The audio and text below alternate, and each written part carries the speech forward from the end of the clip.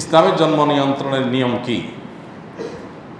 যদি মা সন্তান নিতে অক্ষম হন তাহলে? দেখুন, সাময়িক জন্ম নিয়ন্ত্রণ, এটা ইসলামের জায়েজ আছে যদি কোনো যৌক্তিক কারণ থাকে, যেমন অসুস্থতাজনিত কারণে। যেই মুহূর্তে যদি বাচ্চা হয়, তাহলে সেক্ষেত্রে মায়ের শরীরের উপরে বড় ধরনের ধকল যাবে যেটা উনি নিতে পারবেন না।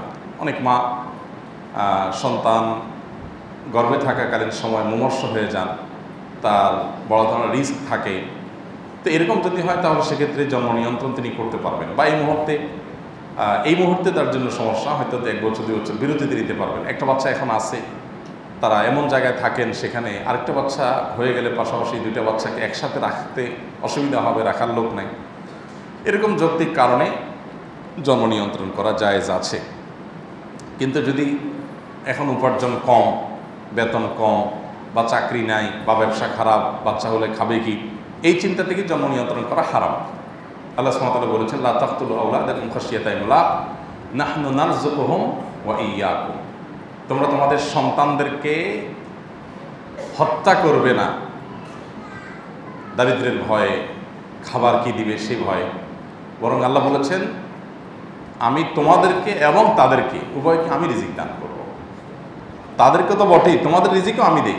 অতএব তোমরা সে কি খাবে এই টেনশন করবে না। প্রত্যেকের রিজিক তার নসিবে লেখা আছে এবং সে সেটা ভোগ করবেই।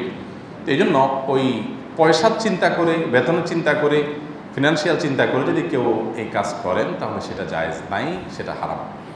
আর স্থায়ীভাবে জন্ম নিয়ন্ত্রণ করাও জায়েজ নাই। স্থায়ীভাবে বলতে আপনার লাইগেশন বা এমন পদ্ধতি যে আর জীবনের সন্তান নেওয়ার কোনো সক্ষমতাই থাকবে না। এটা করা জায়েজ নাই। সাময়িক জন্মবিরতি যেটা সেটা দুই পাঁচ বছর হতে পারে, দশ বছর হতে পারে, আরও লম্বা সময় হতে পারে, কিন্তু স্থায়ীভাবে না। সন্তান গর্ভে থাকাকালীন অবস্থায় ওই রমজান মাসে তিরিশটা রোজা রাখতে পারি নাই। এখন রাখাও সম্ভব হচ্ছে না, কি করব।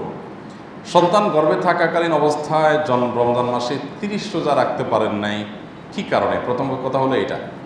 যদি ব্যাপারটা এরকম হয় যে আপনি এত অসুস্থ ছিলেন, অনেক মেয়েরা সন্তান গর্ভে থাকা অবস্থায় এত অসুস্থ হয়ে যায় যে আসলে তাদের আর ওই অবস্থায় সন্তান গর্ভে থাকা অবস্থায় রোজা রাখা তাদের দ্বারা সম্ভব না। অনবরত বমি হতে থাকে, স্যালাইনের উপরে থাকা লাগে।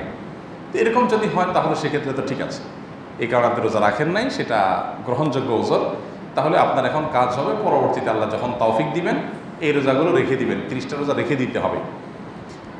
সেটা ভেঙে ভেঙে রাখতে পারেন, সপ্তাহে দুইটা, তিনটা করে করে আপনি তিরিশটা রেখে ফেলবেন। তাইলে আপনি দায়িত্বমুক্ত হয়ে যাবেন, ইনশাআল্লাহ। আর যদি ঠুনকো অজুহাতে, অনেকে আছে গর্বে সন্তান আছে, এখন রোজা রাখতে গেলে সন্তানের কষ্ট হবে, আমার কষ্ট হবে, এই ঠুনকো অজুহাতে রোজা রাখেন না, তাহলে সেক্ষেত্রে এটা গুণা এক্ষেত্রে আপনার রোজাগুলো তো রাখতেই হবে, পাশাপাশি ওই যে ঠুনকো অজুহাতে রোজা রাখেন নাই, সেজন্য আল্লাহ কাছে ইস্তেফার করতে হবে, ক্ষমা প্রার্থনা করতে হবে মাপ চাইতে হবে।